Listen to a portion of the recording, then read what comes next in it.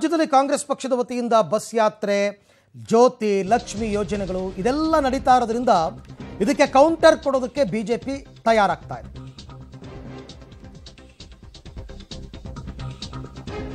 ಉತ್ತರ ಪ್ರದೇಶದ ಮಾದರಿಯಲ್ಲೇ ರಥಯಾತ್ರೆ ಮಾಡೋದಕ್ಕೆ ಸಿದ್ಧತೆಗಳು ನಡೀತಾ ಇದೆ.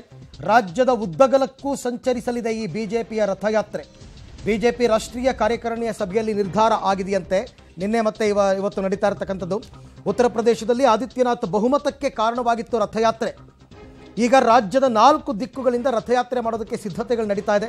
ಒಂದು ಹಳೆ ಮೈಸೂರು, ಕರಾವಳಿ ಕರ್ನಾಟಕ, ಬಾಂಬೆ ಕರ್ನಾಟಕ, ಅಂದರೆ ಮುಂಬೈ ಕರ್ನಾಟಕ ಮತ್ತು ಉತ್ತರ ಕರ್ನಾಟಕ ಭಾಗ ಅಂದರೆ ಹೈದರಾಬಾದ್ ಕರ್ನಾಟಕ.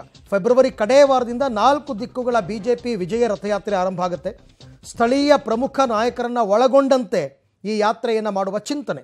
ವಿಸ್ತೃತ ಪ್ಲಾನನ್ನು ಸಿದ್ಧಪಡಿಸಿ ನೀಡುವಂತೆ ಹೈಕಮಾಂಡ್ ಸೂಚನೆ ಕೊಟ್ಟಿದೆ. ರೂಟ್ ಮ್ಯಾಪ್ ಮಾಡಿ ಬ್ಲೂ ಪ್ರಿಂಟ್ ರೆಡಿ ಮಾಡಿ ಅಂತ ರಾಷ್ಟ್ರೀಯ ಕಾರ್ಯಕಾರಿಣಿ ಸಭೆಯಲ್ಲಿ ಸಿಎಂಗೆ ವರಿಷ್ಠರು ಈ ಸೂಚನೆಯನ್ನು ಈಗ ನೀಡಿದ್ದಾರೆ.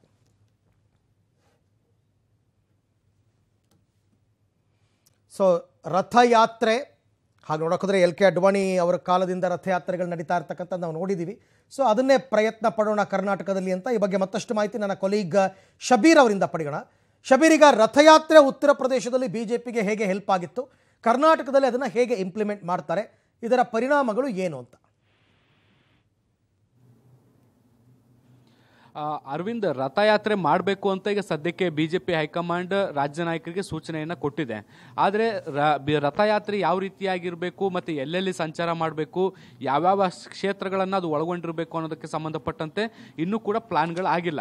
ಆದರೆ ನಿನ್ನೆ ರಾಷ್ಟ್ರೀಯ ಕಾರ್ಯಕಾರಿಣಿ ಸಭೆಯಲ್ಲಿ ಹೈಕಮಾಂಡ್ ನಾಯಕರನ್ನು ರಾಜ್ಯ ನಾಯಕರು ಭೇಟಿಯಾದಂಥ ಸಂದರ್ಭದಲ್ಲಿ ರಾಜ್ಯದಲ್ಲಿ ಆಗ್ತಿರುವಂಥ ಬೆಳವಣಿಗೆಗಳು ಮತ್ತು ಕಾಂಗ್ರೆಸ್ನ ಬಸ್ ಯಾತ್ರೆ ಬಗ್ಗೆ ಒಂದಿಷ್ಟು ಚರ್ಚೆಗಳನ್ನು ಮಾಡಿದ್ದಾರೆ. ಈ ಸಂದರ್ಭದಲ್ಲಿ ಬಿಜೆಪಿಯು ಕೂಡ ಒಂದು ರಥಯಾತ್ರೆಯನ್ನು ಮಾಡಬೇಕು, ಮತ್ತೆ ಬಹುತೇಕ ನಾಲ್ಕು ಭಾಗಗಳಲ್ಲೂ ಕೂಡ, ಅಂದರೆ ನಾಲ್ಕು ದಿಕ್ಕುಗಳಿಂದಲೂ ಕೂಡ ಒಂದು ರಥಯಾತ್ರೆಯನ್ನು ಮಾಡಬೇಕು.